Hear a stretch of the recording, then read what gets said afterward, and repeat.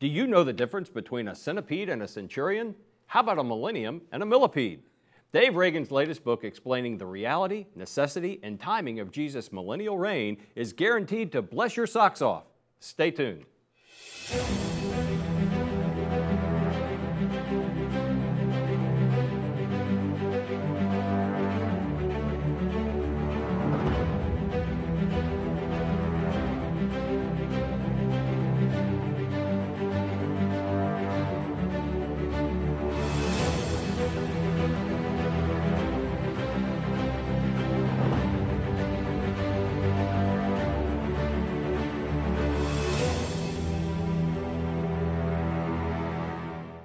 Welcome to Christ in Prophecy.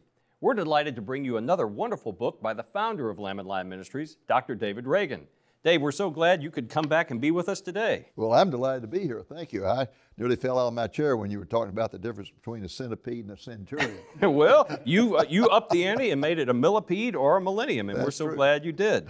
you know, Dave, you make a comment in your book that after interacting with pastors and churches and even individual Christians for many years, you found a common trait regarding Bible prophecy, or at least the attitude, and you label that characteristic abysmal. Yeah. What is the state of much of the church regarding God's prophetic word? Well, I would sum it up with three words ignorance, apathy, and uh, confusion. And uh, that's primarily with pastors. But with people with, in the pew, I would say a lot of it is fear. They don't even want to talk about Bible prophecy because of they, they, they think it's all about uh, wrath and tribulation and things of that nature. Uh, although many are very curious about it, they'd like to know something about it. But it main, mainly is just ignorance on the part of both pastors and the general public. Well, I found the same thing, but you suggested there is a solution to this malady of ignorance, but it involves an offensive five letter word. Well, that's true. That letter uh, word word is spelled S T U D Y. uh, study. It does take some study to get on top of Bible prophecy, and uh, unfortunately, we're in a time when people want short videos and they want short sermons and they want everything to be you know condensed and on and let me move on. And it's not a time of serious study. Dave, uh, you start the book by listing the different viewpoints of the end times. Uh, what are the four main viewpoints concerning the end times? Well, in the book, I talk about uh, the four major viewpoints. I do a little introduction of them, and then I talk about each one in, in particular. And those four viewpoints are historic uh, premillennialism, which was the viewpoint of the early church fathers, uh, almost unanimously. And what that meant was it's simply that uh, they believed that Jesus was going to come back and reign for a thousand years over all the earth from Jerusalem. Historic premillennialism. Okay. Then the second view that developed was amillennialism, and that's kind of a strange word, amillennial. It, it's the way you negate something in Greek, you put the A in front of it. So amillennial means no millennium, but what that really means is no literal millennium. They have spiritualized the millennium to say, well, we're living in the millennium now, that Jesus is reigning over the earth from uh, heaven through the church. And the person that developed that was St. Augustine around 400 uh, AD. And uh, he became the most influential of all the church fathers, had more impact on Catholic doctrine than anybody else. And so the Catholic Church over the years accepted that position. And today, uh, that is the predominant position in all of Christianity, held by the Catholic Church and by most of your mainline Protestant denominations. They have spiritualized it to mean something other than what it says that we are in the millennium now, and it started at the cross, and it will go till the time Jesus returns. And the thousand years simply means a long period of time, doesn't mean a thousand years. Then in the 1600s, a Unitarian pastor by the name of Daniel Whitby, a person who didn't even really believe in the deity of Jesus, uh, he developed the concept of postmillennialism, which I consider to be the most un, uh, unbiblical of all the viewpoints. It simply says that things are going to get better and better until finally the church uh, uh, converts the entire world. And then the church will reign over the world for a thousand years. And then Jesus will come back and we'll present the kingdom to Jesus rather than him presenting it to us. And that's so unbiblical because the, the Bible teaches that the vast majority of humanity will always reject the gospel, will never come to the gospel. And the, the road to hell, hell is very wide, the road to heaven is very narrow. And then the last of the four major viewpoints is what I call modern premillennialism. And it is like historical premillennialism, except that it has a rapture at the beginning of the tribulation. So you have the rapture, the church is taken out, the Antichrist appears, he rules for uh, uh, you know seven years during the tribulation, and then Jesus returns and conquers him and sets up his kingdom for a thousand years. So the only difference between historical premillennialism and modern premillennialism is the rapture that is separate and apart from the second coming. So those are the four major viewpoints. And then I decided to add another major viewpoint that's not normally considered. In fact, I've never seen a, seen a chapter written on it. Mm. Yeah. And that's called panmillennialism. yeah. And you know what? I think that's really the, the major viewpoint yes. held by more than any other view. Even those who claim to be amillennial, if you ask them what that means, they say, well, I don't know. That's what my church says. I, I, I'm just, you know, I just believe it's all going to pan out in the end. Right. I've heard that so much. You know, when I first heard it, I thought it was very funny. And then it ceased to be funny. And then it got to be aggravating to the point that every time a pastor would say to me, Well, you know, I'm panmillennial. I believe it'll all pan out in the end. I had to bite my tongue because what I wanted to say is you just admitted you're too lazy to study God's Word and find out what it says on the topic. Wow. And that's sad because one fourth of the Bible is prophetic in nature. And, and you can't just set it on the shelf. I guess they do, but uh, you shouldn't set any of God's word on the shelf and say you're not going to uh, uh, teach it. Or, and, and it's even more tragic when you consider the fact that the signs of the times have all converged for the first time in all of history, pointing to the fact that we are living on borrowed time and Jesus is about to return, and yet the average guy in the pew doesn't know that because the preacher never preaches it. Absolutely. You know, one of the things you made a good point is people say, well, that historic pre-millennial viewpoint uh, really doesn't have a whole lot of, of discussion uh, amongst the early church fathers. But you said there's a reason for that. They were focused on other doctrinal and foundational issues of the church, and yet they still had an expectation of Jesus coming soon well, because true. they adopted an Aramaic phrase expressing their hope that he that's would. Right. Well, the, the early church fathers were, did not write a lot about Bible prophecy because that's not what they were focused on. They were focused on major issues like the divinity of Jesus, the triune nature of God, uh, how a church should be organized and how it should relate to other churches, and surviving persecution. Yeah. That's what they were focused on. So they didn't write that much about it, but the ones who did were premillennial in nature. Yes, sir. Well, why do you think? Uh, oh, and one other thing. Sure. You mentioned a word ah. that they use. Yes. Yes. We the still word, use it. The word they use is from 1 Corinthians, right at the end of it, in that in chapter 16, and that is Maranatha, which is an Aramaic expression for "O Lord, come." And they used that for the first 300 years in the church's history. They would they would greet each other Maranatha. They would say goodbye, Maranatha. It was kind of like aloha, you know, it, hello and goodbye, and it was an expression of how we want the Lord to come, and that just faded over the years. Yes. Well, why do you think an Augustine broke from 300 years of tradition and then started spiritualizing the millennium to just mean a general period of time? I would say two major reasons. One is that uh, he was very anti Semitic. And by the year 400, all the church fathers, without exception, I think, uh, I don't know of any that were not anti Semitic in nature. Anti Semitism just took over the church. And they argued that since the Jews had killed Jesus, that they, God has washed his hands of them, has no purpose for them left. And they did not like the idea of premillennialism because it teaches that it's going to be basically a Jewish kingdom where Jesus is reigning from Jerusalem through the Jewish people, and the Jewish people will be a blessing to all the world because they will be believers in Yeshua at that time. And they just could not accept that. They said, no, God has no purpose left for the Jews. And then a, a second reason uh, that they did it was because by amillennialism argues that the church is the kingdom. Right. And so it gave more importance to the church and to the Pope, for example, because if the Pope is head of the church, then the, all the nations of the world should submit to the Pope and to the kingdom of God on earth. And so they, they like the idea of elevating the church to the point that it is the kingdom of God, period, and all that ever is going to be of the kingdom of God.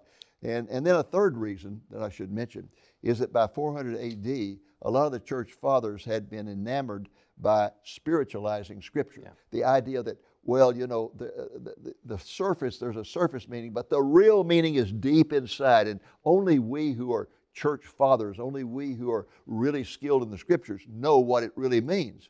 And so they came up with all kinds of absolutely bizarre interpretations. And incidentally, I, I mentioned some of those in the book. Uh, one of them in particular I won't even mention here, but I, you'll find it in the book of how yeah. bizarre these interpretations were. And, and uh, uh one that show you how frivolous they were. In the city of God, which I had never read, I'd always quoted it, but I finally read it. You read it. Okay. I'll tell you. Big book. It'll put you to sleep fast. uh, Augustine argues against the 1,000 years in Revelation 20 as meaning 1,000 years. And the only explanation he gives is that 1,000 years represents 10 to the third power, therefore it is uh, uh, symbolic and not literal. Interesting. That's all, only only explanation the man gives. That's his rationale. And, and, you have a story you've shared many times with me is that back when you were growing up in your church, oh. your church had adopted amillennialism to the point where they refused to sing a certain hymn because it showed a future kingdom. What hymn was well, that? Well, that, uh, uh, uh, that, well, anything that mentioned the kingdom in the future. But okay. the prayer, the thing that was absolutely amazing is they told us it was a sin to say the Lord's Prayer. Sin to say the Lord's Prayer. A sin to say the Lord's Prayer. Because the Lord's Prayer says, Thy kingdom come, thy will be done. They said the kingdom's already come. So if you pray that, you're praying a prayer that has no meaning whatsoever, and so you shouldn't pray it because the kingdom's already come. The kingdom is the church. That's all the kingdom is. I can't huh. imagine such a lack of faith that you would not even want to point people to the greater uh, glory and the hope that we have in Christ's return. But you know that attitude is pretty much reflected in a guest preacher I recently heard at an evangelical church who said as a throwaway comment, "Folks, we're living in the midst of the millennium and the tribulation right now, but I don't have time to explain." And, and, he never explained, but another very gifted theologian who was there present, I was speaking to afterwards, and he said, Well, that's because that man is an amillennialist. And yet that view was largely discredited, uh, as was postmillennialism in the last century. Well, I say in my book that when people, uh, that Arnold Fruchtenbaum is a Messianic Jew and a great Messianic Jewish scholar. And uh, Arnold Fruchtenbaum once said in a lecture I heard of his, when people tell me we're living in the millennium now, I say to them, if we are, then I must be living in the slum portion. Exactly right. well, well, speaking of, again, a, a, another viewpoint that was discredited in the last century, even more so than amillennialism, is postmillennialism. And yet, having fallen into discredit because of the wars of the last yeah. century, it seems to be making a resurgence today. Well, Why is to, that? To explain that, uh, people need to know that postmillennialism was developed by uh, this, this fellow Daniel Whitby at a time when people were putting their faith in man rather than in uh, God. It, during the you know the, great revolution that occurred in, in thinking and where everybody began to think that well our real hope is mankind and the leadership of men. So it, it's a very humanistic view because it says that the, man is going to improve in quality over the years and to the point that the church is going to convert the whole world. And when the church converts the whole world, the church will reign over the world for a thousand years. So they are, belie- they are believers in, uh, in pro- uh, uh the progression of mankind is going to be better and better, inevitable progression toward betterness, toward uh, uh, being uh, kinder to each other and so forth, which the Bible says in the end times it's going to be like Noah's day yeah. when people are hating each other, killing each other, immorality everywhere, and yet they argued no, it's going to get better and better. And to the point that at the end of the 19th century, all of your major denominations were postmillennial, and they were all arguing that 20th century will be the century of the church. In fact, the Disciples of Christ denomination, they changed the name of their, of their magazine to the Christian Century because it was going to be the Christian century and we are going to go out and we're going to conquer the world for Christ. Well, World War I and World War II just devastated that viewpoint. Surely it did. died. Could, I only know of one major book that was written uh, in the first half of the 20th century advocating postmillennialism. And I wanted to call the author and say, Are you living on an island that, that you don't get the news every right. day? Uh, but at the end of the 20th century, it started coming back. And postmillennialism is a bad interpretation because it takes two verses out of context, right? Yes, it does. There, there are two verses in particular that uh, it takes out of context. If we go over there to the uh, uh, postmillennial uh, viewpoint, you will see where I write in detail about postmillennialism, and you will see that uh, one of those verses is Acts 3:21, we're, and they usually quote it this way they say, Jesus must remain in heaven until all things have been restored. Well, that's not what the verse says. The verse says Jesus will remain in heaven until the time for the restoration of all things. Well, the time for the restoration of all things is the millennial reign. Yes. Yeah. That's when the Bible says it's going to be restored. And, and then the other one they use is Matthew 24 14. And they say that it says that the gospel of the kingdom must be preached to the whole world before the end will come. That's what the verse says. And this verse, they say, requires the world to be converted to Christ before he comes. But the verse doesn't say that. It just says we're going to preach the gospel to all the world before Jesus returns. It doesn't say we're going to convert them. Most people will not convert. No, most that. will not. Most will reject it.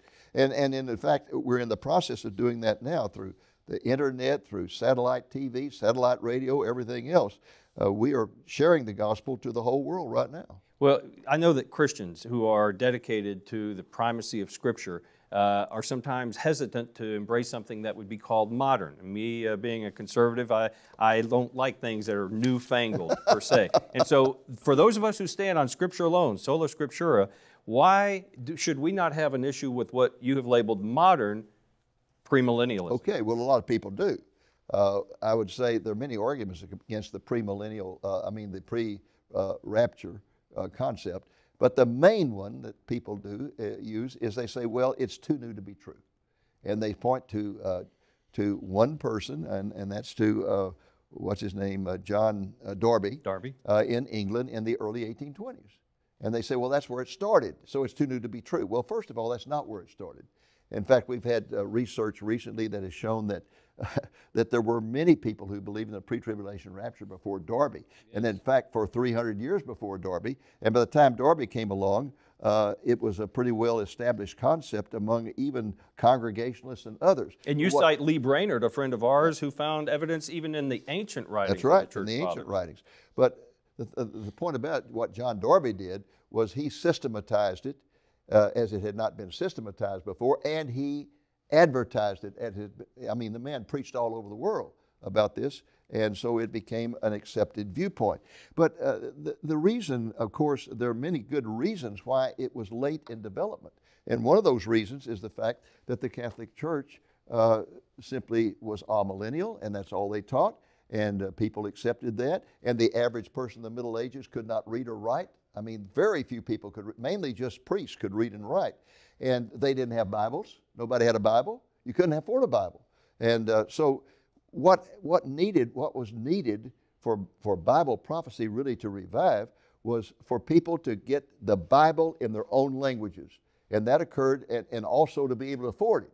So you had the invention of the Gutenberg press, and then along with that came the, the uh, revolution led by Martin Luther, which uh, uh, the Reformation, which resulted in the Bible being translated into native language. And speaking of Martin Luther, the church, the Catholic Church, said, well, his uh, new idea oh. of faith uh, alone is too new to be true. So, oh yes, yes, that was their major argument against Luther. They said it's too new to be true to talk about salvation by uh, uh, grace through faith.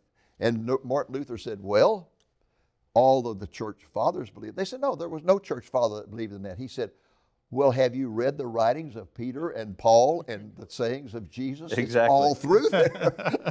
uh, what, uh, it's not a new idea, it's an idea that was rediscovered. Uh-huh. And That's redefined. Yeah. Well, the early church fathers weren't interested in prophecy, they were interested in doctrine. And they all time. taught imminence. They all, even though they didn't understand it completely, they taught imminence. They taught that, that the Lord could come back at any moment. Now, if you start putting all kinds of prophecies uh, in front of that, and saying, no, uh, he can't come back for a thousand years, he can't do this, he can't do that, then you're destroying imminence. We, right. The, the Bible teaches that Jesus can return any moment. The only way you can have an imminent return of Jesus is to have a rapture that is separate and apart from the second coming. Because if you put the two together, then you've got to say, no, he can't come until the temple is rebuilt, the Antichrist is revealed, uh, and on and on and on. No, it has to be imminent. Absolutely. Absolutely. Well, I, I, love that you have a chapter on the pan millennial view. I think it's the first book I've ever read that, that has it. And you call it an irresponsible cop out and you explain why. But for those who say, well, why study Bible prophecy? Why? How do you answer them? Why is it important? Well, I go into great detail about that in here. In fact, I give 10, 10 reasons yes. for the study of Bible prophecy. I won't mention all 10, but I just mentioned that the quantity of, of, of the Bible, one fourth of it prophecy, that alone justifies studying Bible prophecy. The uniqueness of it. There is no other book in the world that contains fulfilled prophecies. There's not one in the, in the Quran, not one in the Ved, Hindu Vedas, not one in the Book of Mormon, but the Bible contains hundreds of prophecies that specific, not vague and general nonsense like Nostradamus, but specific prophecies that have already been fulfilled in history. And I'm not just talking about uh, messianic prophecy. I'm talking about prophecies concerning cities and towns and nations and empires. Isaiah writing about the fact that the Babylonian Empire would be overthrown by the Medes and the Persians before the Babylonian Empire even existed.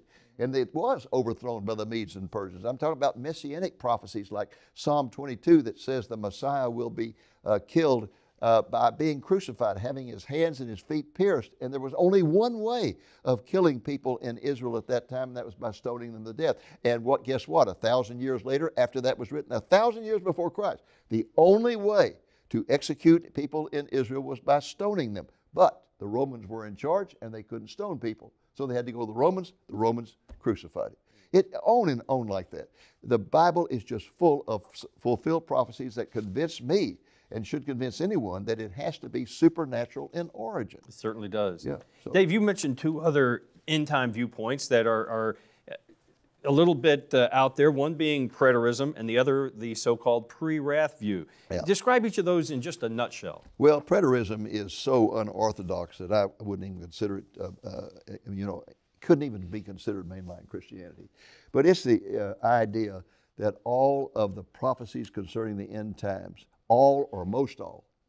All, the, the, the extreme preterist says all end time prophecy was fulfilled in 70 AD. The moderate preterist says all was fulfilled except for the second coming of Jesus. But your extreme preterists argue that it was all fulfilled, and they argue that we are in the eternal state right now, and things will just keep on going on, Boy. and the, the dead will go to heaven and live there, and the rest. But it, all of that is based upon the idea that the book of Revelation was written before 90, uh, 470 AD. Uh, when the temple was destroyed. And they, uh, their main argument for that is they turn over, I think it's Revelation chapter 11, they say, hey, it mentions a temple. And the temple was destroyed, so, uh, you know, what, what's the deal? Well, there's going to be a second temple. There's Right. going to, I mean, a third temple. There's going to be a temple that's going to be the temple that's built during the first part of the tribulation and which the Antichrist comes to Jerusalem to dedicate.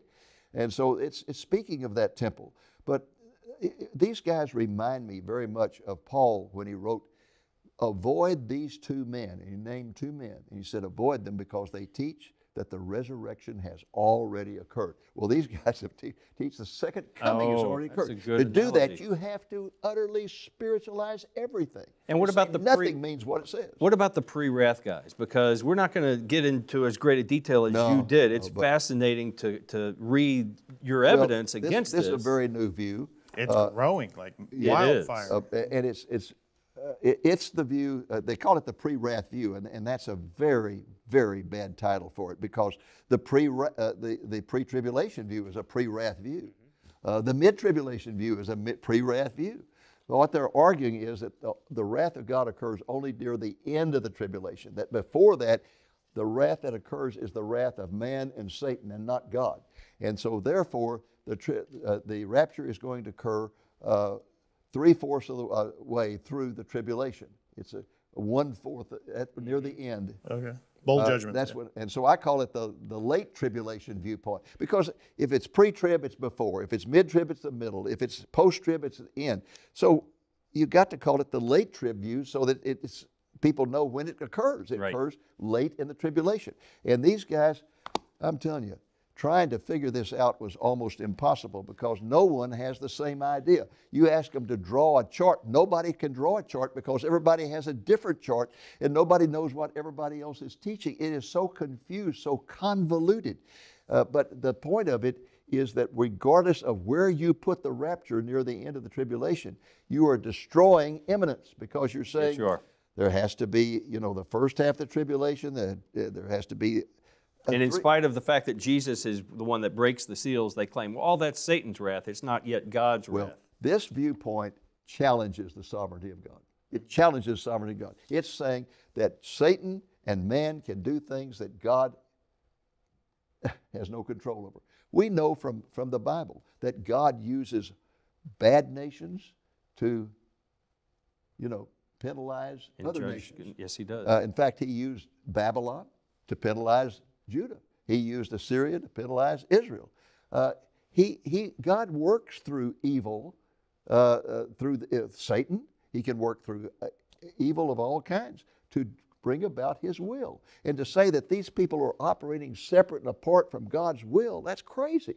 And it's a great travesty because it denies the millennial kingdom. Maybe you could tell us, and you made a great argument here, some of the reasons why the millennium is important. I mean, why why do we eject it when it Yeah, contains that- so many Well, that's what I end the book with is talking about why it's important to have a. You know, when I, I was raised in a millennial church, a church so amillennial, if you had any other view, they would disfellowship you Oh, formally. word. Uh, so anyway, I, I end by talking about reasons why uh, when, when I became when I started studying the Bible and I could see without any problem whatsoever there's going to be a millennial reign of Jesus uh, because I believe that if the plain sense makes sense, you shouldn't look for any other sense or you end up with go. nonsense. And so I just believed what it said. And then I thought, well, why? I mean, why would Jesus want to come back to this filthy earth, to this sin plagued earth? Why would he want to come back and reign? And then I began to see all kinds of reasons.